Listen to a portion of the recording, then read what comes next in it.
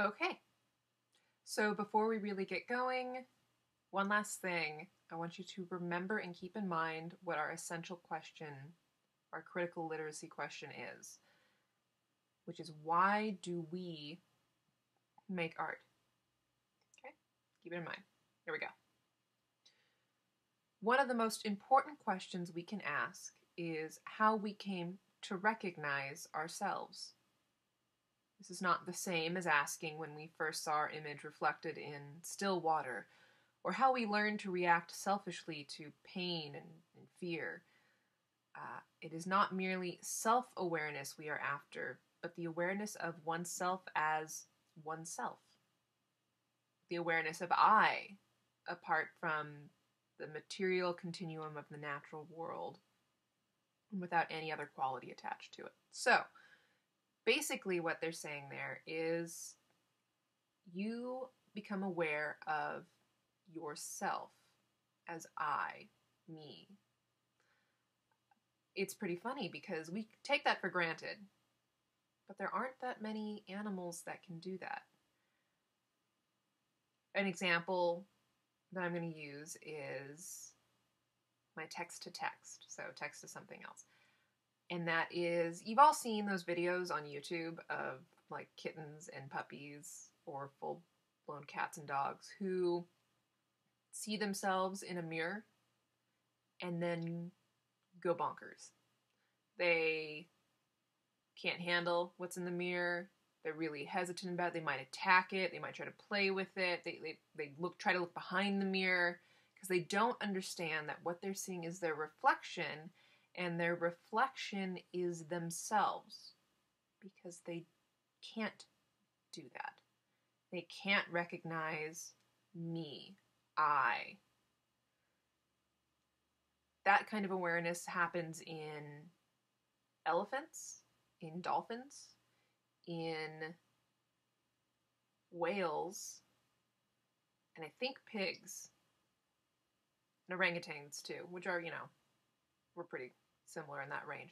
All of these animals have the characteristic of have really having really big brains, and they are very rare the sense of, of I existing.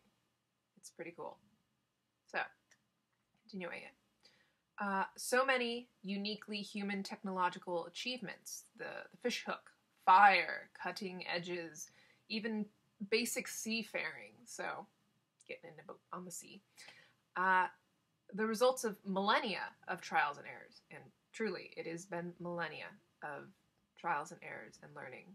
So, don't forget the cool stuff that the ancients learned before you, because you're just stealing their knowledge.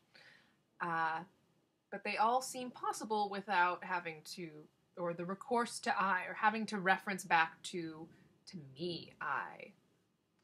Uh, but identity, philosophy, poetry, psychoanalysis, and other foundations of classical and modern life are predicated or dependent on a language of introspection or this ability to talk about me and what's going on with me, the individual, and recognizing yourself.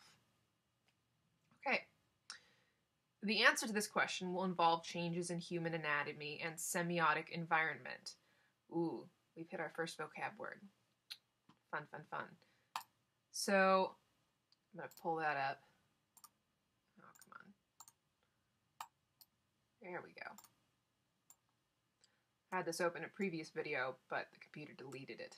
Shame on the computer. So this is one of our tier three words. Big kahunas here. And so semiotics is the study of meaning making, the philosophical theory of signs and symbols.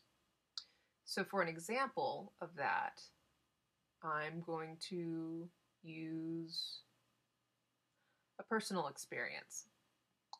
So, when you're a baby and you're just figuring things out, and you're getting fed and taken care of, and you're still, you know, super gross but living the life, um, you're getting fed things like applesauce. When I was a baby, I loved applesauce. I was all about that.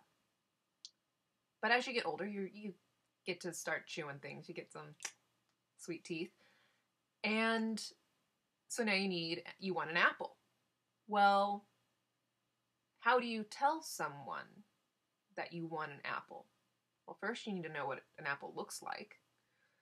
But then how do you describe that apple? Oh, well, you could, if you don't know the word for apple, you can't. Well, maybe you would try to describe the apple by what it looks like or what it tastes like.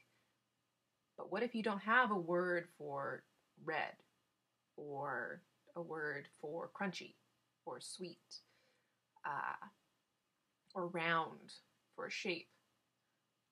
Those are symbols.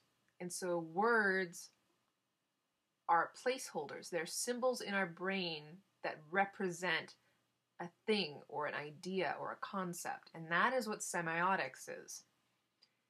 And so a lot of art is really semiotics. And it's this process of meaning making. And we just take it to the next level. So there you go. Nice little lesson there. So, there are also changes in human, human anatomy. So, getting sweet hands and big old brains. Uh, but unfortunately, evidence of these things remains scarce because, you know, 40,000 years will do that. Representation of the self and the world in art would seem to qualify as exploratory self recognition and even self reflection uh, especially if we remember that art has never been inextricably linked to the concept of audience. So, for your an example for you, I suppose, would be say you're taking a test and or say you're in class and you need to take notes and you're bored out of your mind. Maybe it's the teacher's fault, maybe it's your fault, maybe it's the subject matter's fault. Whatever it is, you start doodling in the corner of your paper. Now, is that for anyone? Are you sitting there going like, yes, when this test is over, I will sell this and make millions?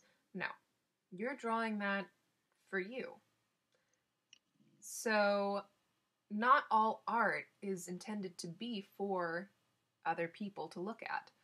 Uh, a lot of art therapy, which is a profession you can go into when you get art degrees, um, is considered really important for a lot of people for dealing with personal issues and, and developing your sense of self and developing all sorts of great things. So that's important to know. But uh, the idea was that maybe this art would represent humans trying to do that, trying to figure things out through drawing. That isn't necessarily true. We're not sure. Um, the paleo- upper Paleolithic cave frescoes, such as Lascaux and Chauvet, which are the two big kahunas in uh, France, and they are the oldest at about 40,000 years old. Uh, along with early Venus figurines, which are chubby little sculptures of ladies uh, that proved back then when food is scarce, having a little extra something something on ya is super sexy. Uh, but they are cited as mileposts in the ripening of unique human mental faculties. So, little signposts for saying, hey, we're getting somewhere here. Uh, the coordination of manual dexterity, ability to use your hands here really carefully, like chopsticks. Gosh, those are hard. Uh, and the ability to depict the world as iconography rather than intentionally variable notations becomes highly visible on the walls of Upper Paleolithic caves. So, depict the world as iconography, uh, create images that uh, represent something in reality. So, taking the concrete things in the world and representing them somewhere else. Okay, I'm gonna stop the thing real fast and be back right in a sec.